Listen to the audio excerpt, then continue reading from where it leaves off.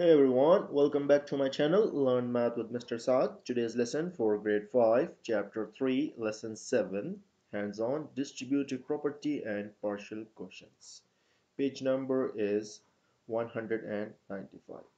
Guys, the first thing uh, about the distributive property, see this guys here, like we are dividing 369 divided by 3 so in distributive property, actually what we do, we break the number into parts, like 369 into 300 plus 60 plus 9.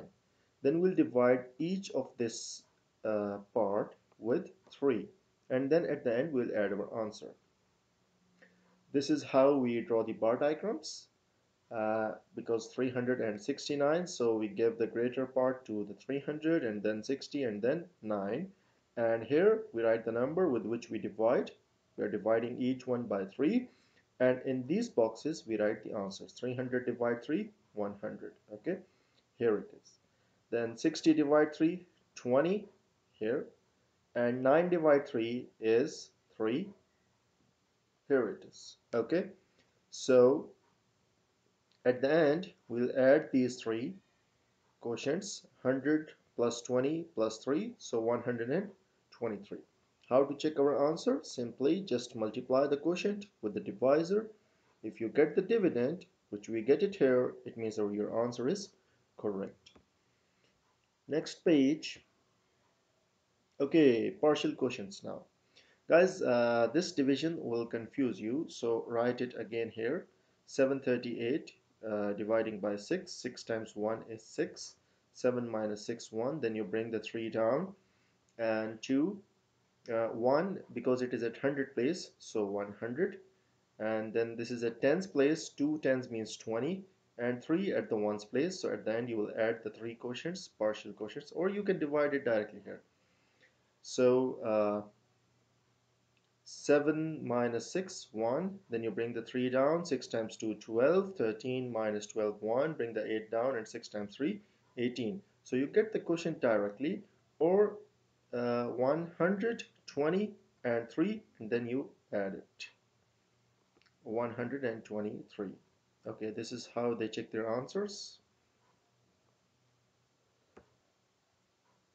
Okay uh, draw a conclusion. How would you use the distributive property to find 242 divided by 2 so we'll break 242 into parts 240 and 2 and then we'll divide each one with 2 so 200 divide 2 is 100. 40 divide 2, 20 and 2 divide 2, 1 and we'll add all of them. So 121. Next page guys. Okay, here. Independent practice. Just like uh, using the bar diagram, they said uh, use the distributive property to draw the bar diagram so you will draw the bar diagrams. You can do it by yourself and then match your answers from this video. Okay this one they're saying use the partial quotient but uh, you can do it directly like this. Okay. And then you can match your answers from this video. Let me show you the up one again. These four using distributive property and these three using partial quotients. Uh, next page now guys okay Josh is saving his money to donate to his favorite charity. He has saved $432 if he has been saving for three years. How much did so 432 divide 3 you can divide it here okay and the answer is 144 uh, Mr. Keaton planted 918 corn stalks. There are 9 corn stalks in each row. So how many rows of corn did he plant? 918 divided by 9, 102 rows. Colton wants to buy a trampoline in two months. The trampoline costs $228. If he saves the same amount each month, so for two months, 228 divided by 2, 114.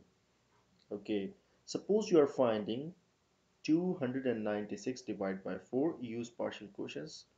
is 50 or 70 are reason more reasonable partial quotients guys uh, for this question you have to divide this okay here normally using long division and then uh, we told you that the answer is closer to 70 70 is more reasonable because uh, 70 times 4 is 280 but it's not 296 it's close to 296 so you guys will tell me in the comment box what is the actual quotient? When you divide 296 divided by 4 what is the actual quotient which is closer to 70 uh, the last question how can properties help me divide? I can use the distributive property to divide each place value position by the divisor like here we did. We break it into parts. We break into parts 500 then 80 then 5 and divided by 5 I hope you understand the lesson guys. And if you really understand don't forget to like this video and subscribe my channel learn math with Mr. Saad. Thank you so much. Have a nice day